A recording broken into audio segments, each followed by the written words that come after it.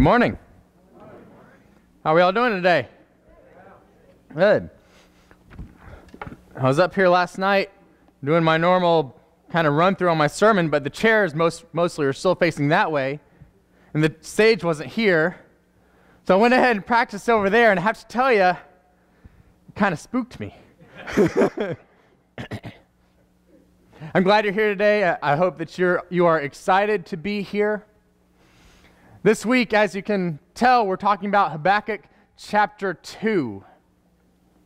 Last week, in chapter 1, Habakkuk, if you remember, was asking God um, why he let so much evil go on in Judah. And God told him, um, Well, I wasn't really going to tell you this, but since you asked, I'm bringing Babylon to judge Judah.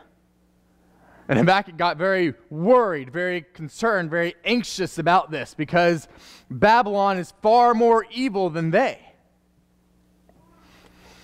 And so he said, really, he, he said, really, God, really, that's, that's your plan to fix this? And so, so he questioned God not out of, out of anger or frustration, but out of genuinely wanting to know how God was going to answer him. And so we ended last week in chapter 2, verse 1, where he said, I will stand my watch and set myself on the rampart and see what he will say to me and what I will answer when I am corrected. Well, this week, God answers Habakkuk. And as we tend to see him answer people in Scripture, he doesn't quite give Habakkuk, I think, quite the answer that he's expecting. because his answer to Habakkuk is basically don't worry, Babylon's going to get theirs too. Not to negate what is coming, but Babylon has what is coming their way as well. And so this week we're going to look at God's response to Babylon because Habakkuk was right. Babylon is a highly evil nation. And so God answers Habakkuk in verse 2, where he says, Write the vision and make it plain on tablets, that he may run who reads it. For the vision is yet for an appointed time, but at the end it will speak and it will not lie. Though it tarries, wait for it, because it will surely come. It will not delay. Behold the proud. His soul is not upright in him, but the just shall live by his faith. God says, write this down because it's going to happen. And when it happens, people will, be, will look back and say, This is what God said. He says, Make no mistake, this will come. He says, The wicked will fall, but the just shall live by his faith. This, this part, this part of this verse, this the just shall live by faith, is quoted three times in the New Testament. It's something many people are very familiar with. And so, as we go through the rest of this chapter, I want you to keep this in the back of your mind. Because we're going to be talking about a lot of wicked things, a lot of wicked practices. We're going to be talking about a lot of evil that we see in the world today. And so I want you to keep in mind that though the wicked will fall, those in faith will live. and so in verse 5, God gives kind of a, a general description of Babylon. And he says, Indeed, because he transgresses by wine, he is a proud man and he does not stay at home. Because he enlarges, his desire is hell and he is like death and cannot be satisfied. He gathers to himself all nations and heaps up for himself all peoples. They cannot be filled. It's like me when I go to a Chinese buffet. I need more. I want more. Give me more. Feed me more. Let me consume more. This is Babylon, except they do it with people. And they swallow them up. And so God is going to pronounce five woes upon Babylon. He's going to give them five warnings of impending judgment. And he's going to list out their big major sins, their big major evils, and tell them what's going to happen because of it.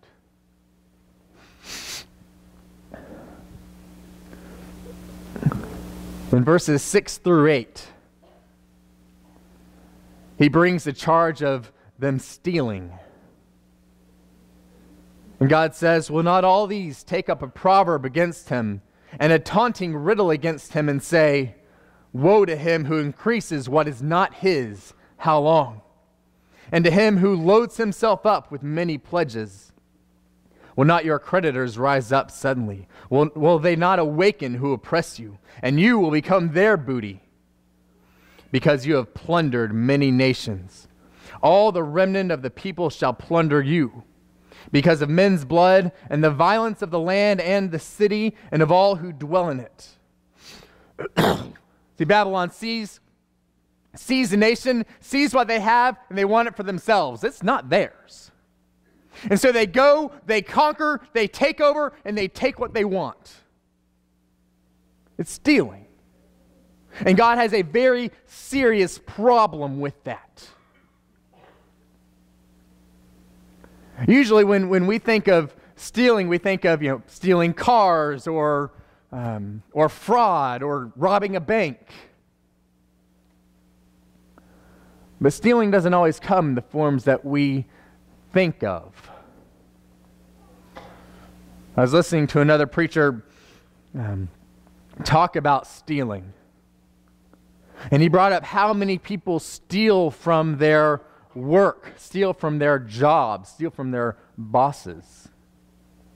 And not things like, like staplers and pens, but time. And it's a problem in our society, society today. It is a growing problem in our society today. It used to be that to waste time at work, you either had to bring something in or go somewhere. Now it's What's, what, what's the latest Facebook status update? What's the newest thing on Pinterest? I can't miss it. We have people on, on, the, on the site LinkedIn looking for other work while they're at their work.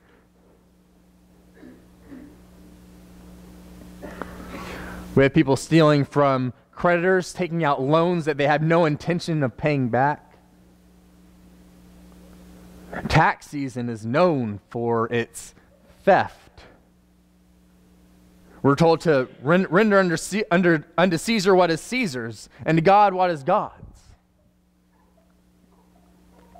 But, and yet, we have so many people out there who tax time comes around and they, and they look for ways to cheat the system, to gain, game the system. It's stealing. It does not just involve robbing banks and stealing cars. Now, there, there are, I, have, I know people and I have friends out there who have, who have gotten into debt and they're just, they're kind of in over their heads and they're trying to work out, you know, how, how they're going to get this all paid off. And so they'll, they'll put off something here in order, so they can pay these people. And when they're, when they're done, then they can move on to the next and move on to the next. That's one thing that's trying to live responsibly and, and pay what you owe.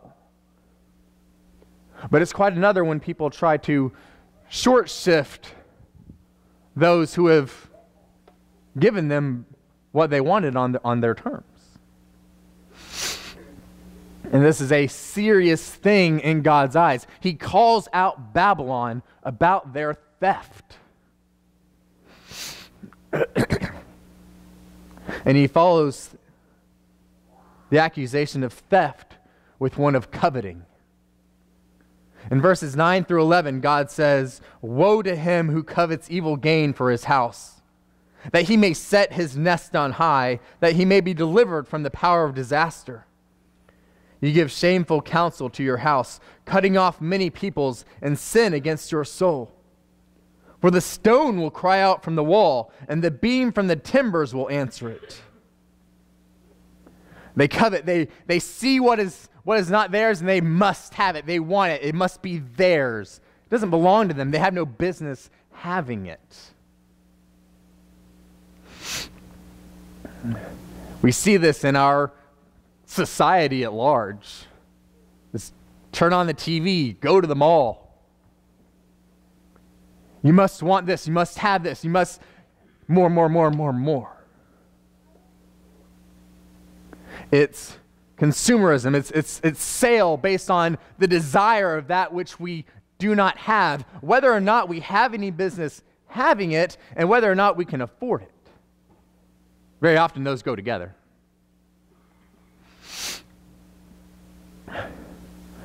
we need to be careful, especially as Christians and especially as Christians in our, in our modern Western world, that we do not fall into this trap. Because this trap says that if you get this, if you have this, you'll be happy. You'll be filled. When really all it does is drag us down, pull us down, either distract us away from God directly or work to make us want something else that will. And it's a trap. And it's one that we need to be aware of because there's only, there's only one that can actually bring us true joy and fulfillment and happiness. And that is our God and our Father above.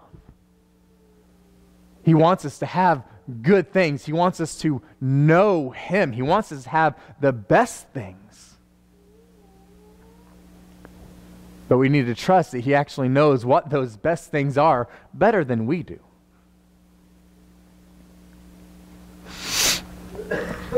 And so God moves on to the next woe, where, where he accuses Babylon of murder. In verses 12 through 14, God says, Woe to him who builds a town with bloodshed, who establishes a city by iniquity. Behold, is it not the Lord of hosts that the people labor to feed the fire, and the nations weary themselves in vain? For the earth will be filled with the knowledge of the glory of the Lord as the waters cover the sea. They're killers, they're murderers in order to increase themselves, increase their stature, in order to become richer, stronger, more powerful, they will take out anyone they see fit. And they will do so brutally.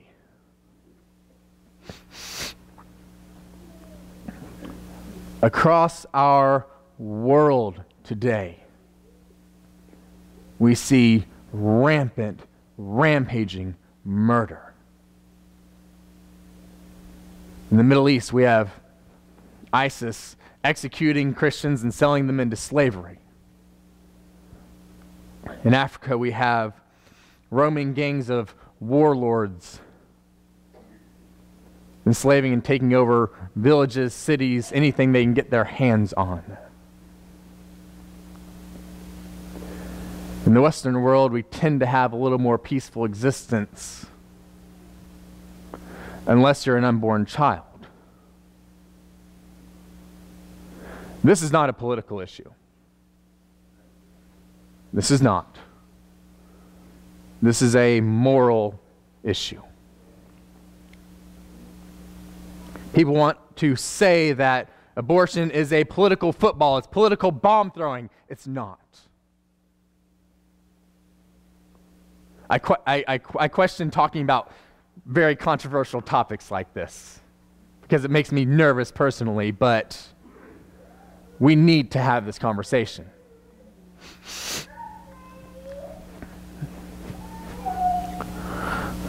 We have hundreds of millions, hundreds of millions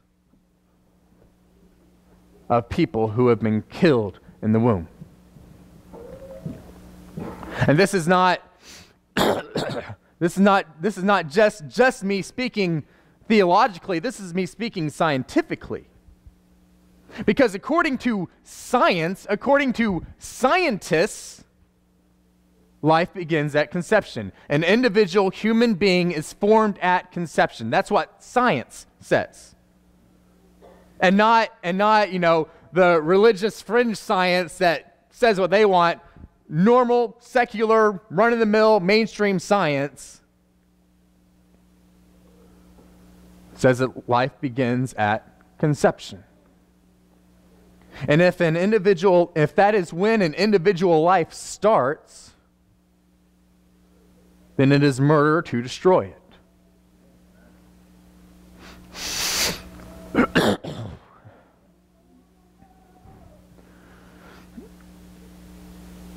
I have to wonder, with the latest videos that have come out, I'm sure 95% of people here have either seen them or heard of them. I have to wonder what context talking about selling unborn baby parts is okay. There's no context that makes that okay. the good news is the good news is that we serve a God who is both loving, who is forgiving, who is who cherishes all who come to him regardless of what has happened in their past. The good news is that we serve a God who not who not only forgives sins that we consider small, but that he also forgives well, stealers and coveters and murderers. And we serve a God who is above and beyond all of that. I have had friends, I have had close friends who have had abortions. And they agree with this. And if we're going to be God's people, we need to be those people who show His love, who show His kindness, who show His care to the people who need it the most. Because make no mistake, they need Him desperately.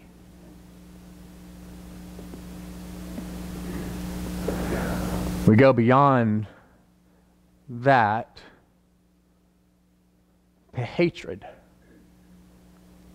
We have, we, we have the world, we have the word, word hatred just thrown around everywhere today. Everywhere. It doesn't matter if you say something in the nicest, kindest, most gentle, loving way in the world. You're considered a hater if, it's, if you say the wrong thing or if you're against the wrong issue. Do not let society tell you what is and is not hatred. Let God tell us what is and is not hatred.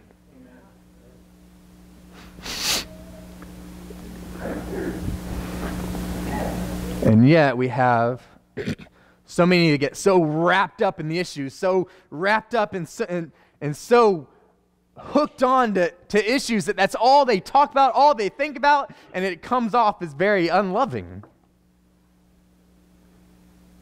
But let us not hold on to issues, but rather hold on to God and let Him guide us in the hows and whys and wheres that we speak about things and talk about things and stand up for things.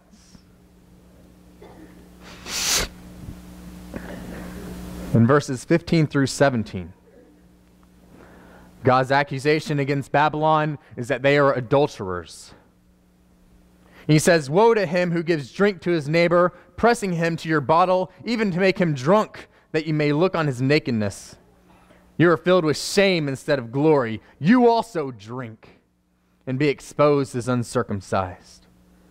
The cup of the Lord's right hand will be, will be turned against you, and utter shame will be on your glory. For the violence done to Lebanon will cover you, and the plunder of beasts which, make, which made them afraid because of men's blood and the violence of the land and the city and of all who dwell in it.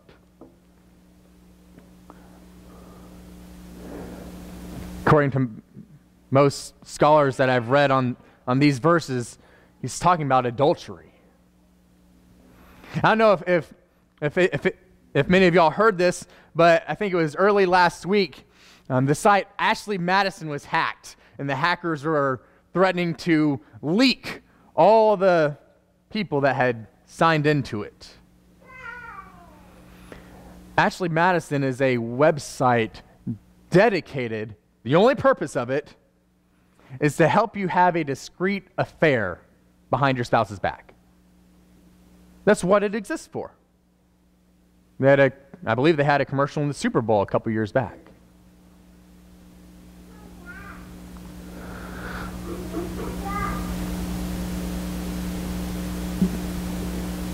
Do not think that you are immune to this. The most dangerous position you can put yourself in is to say, that will never be a problem for me. I'm stronger than that. I will never be tempted that way. It will never be a problem. When you hear those words, when you find yourself thinking that way, watch out. Because that's when you stop letting down, that's when you let down your guard. That's when you stop guarding your back. That's when you stop guarding your heart. And your heart needs to be guarded. Jesus says, Do not look after a woman to lust after her, because if you do, it's adultery.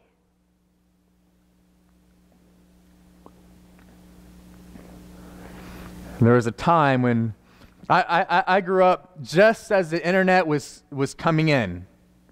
Okay? Internet kind of came into mainstream existence when I was in junior high.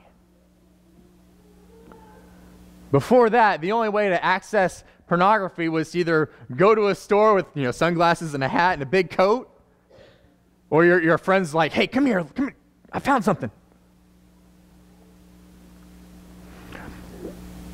It has become inundated, the internet, with pornography. And pornography is adultery, according to Jesus.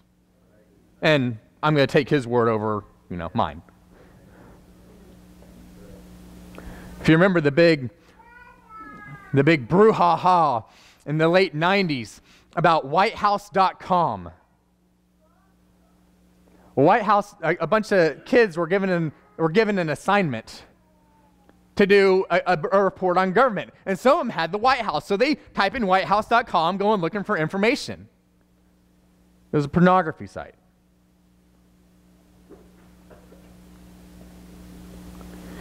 It seeks to undermine everything. It seeks to trap, it seeks to trick, and it will stop at nothing to make more of the billions upon billions upon billions of dollars that it makes today. You can't escape it. Even, even with, good, with good software, you can't escape it. We need to, to realize that we are not immune. We need to realize the importance of guarding our hearts for our spouses. This is serious stuff. I don't like giving most, you know, big, heavy, serious sermons, but this is serious stuff and it needs to be talked about.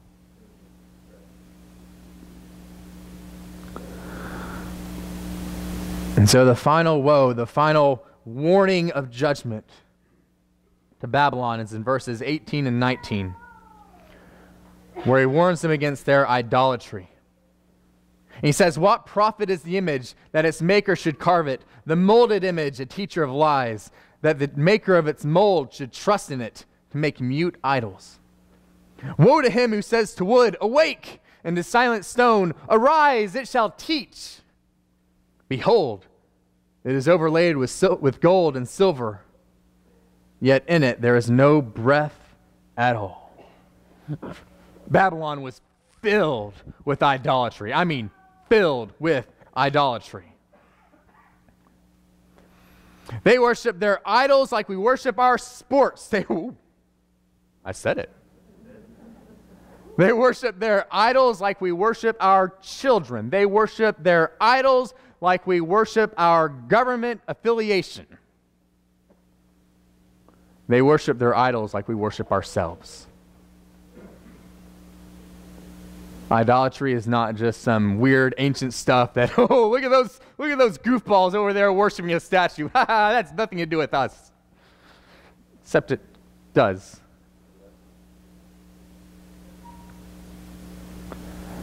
We are not masters. We are servants. And we live for the one true King above all else. We have no time for idols.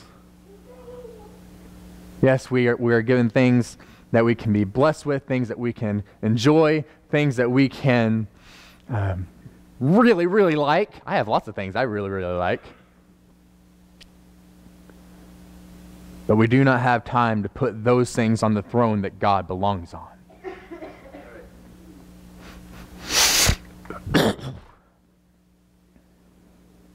Remember, remember, I said to keep verse 4 in mind as we go along that the wicked will perish, but the just will live by faith. This is how God ends, or rather, this is how, this is how he ends his statement in verse 20. But the Lord is in his holy temple. Let all the earth keep silence before him. This is how we live. We can live by faith.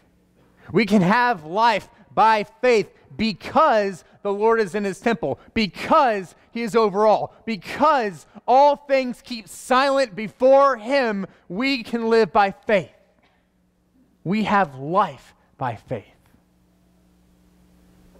And there are many parts of, of living by faith. We, we, we've talked about it since we were little children, what it, what it means to live by faith.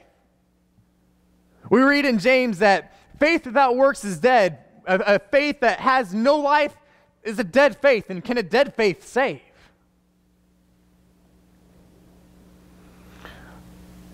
But in Habakkuk, what does faithful living look like?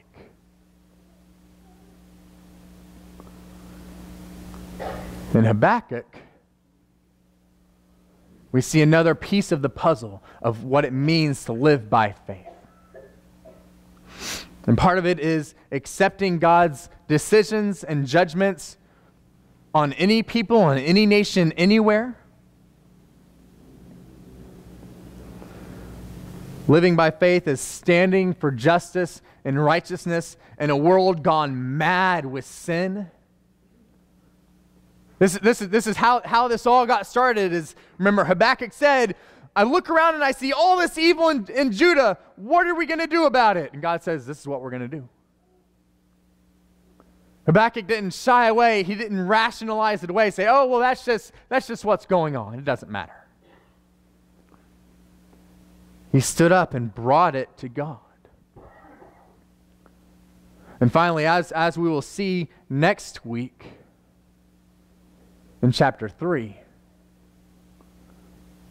Living by faith in the book of Habakkuk requires trusting that the Lord will provide because he lives and because he does so in power. That's where, that's where we end in verse 20 here. God reigns. He is in his holy temple. He is above all. Let all keep silent before him.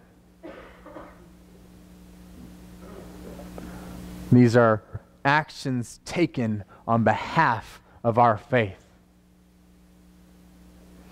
Accepting God's decisions, standing for what He says is right, and trusting that He will provide. These are all actions taken. Sometimes they're physical, sometimes they're actions of the heart. But when we accept God, God's decisions and judgments, we will stand for justice and righteousness in the face of evil without terror keeping, it, keeping us from it. I want to encourage you to have courage because we know that God will provide for our greatest good. Whether or not what, what we're seeing with our eyes and, ex- and experiencing right now are what we consider the best. God will lead us, He will guide us to what is best. Whether in this life or the next, because He is in His holy temple and He reigns over all.